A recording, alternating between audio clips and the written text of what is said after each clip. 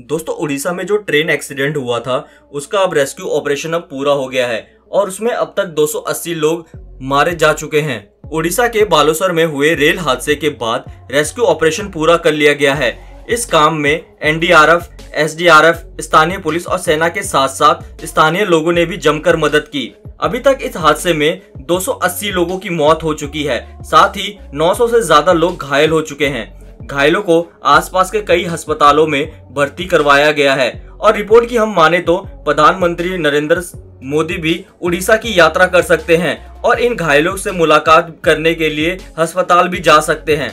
इससे पहले रेल मंत्री अश्वनी वैष्णव और उड़ीसा के मुख्यमंत्री नवीन पटनायक घटनास्थल का जायजा ले चुके हैं। नवीन पटनायक ने राज्य के सभी उत्सवों को स्थगित करते हुए एक दिन की राजकीय शोक का ऐलान भी किया है। तमिलनाडु के सीएम एम के स्टालिन ने भी अपने पिता करुणानिधि के जन्मोत्सव को स्थगित करते हुए राज्य में राजकीय शोक का ऐलान कर दिया है।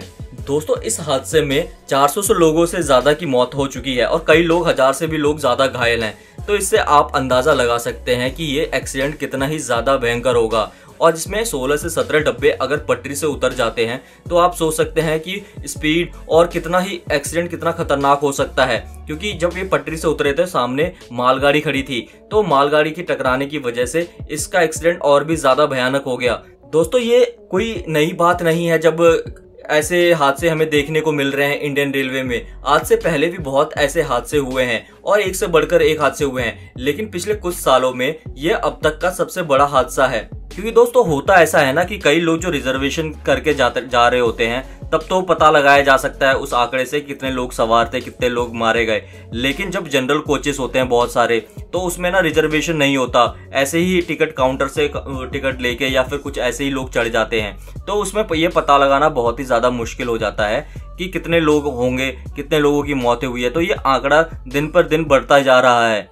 दोस्तों, आप लोगों का इस बारे में क्या है कहना हमें कमेंट करके ज़रूर बताएँ। वीडियो अच्छी लगी तो वीडियो को लाइक शेयर ज़रूर कर दें। अगर अभी तक आपने हमारे चैनल को सब्सक्राइब नहीं किया है तो चैनल को सब्सक्राइब करके बेल आइकन ज़रूर प्रेस कर दें, जिससे हमारी हर एक नई वीडियो की नोटिफिकेशन आपको मिल सके सबसे पहले।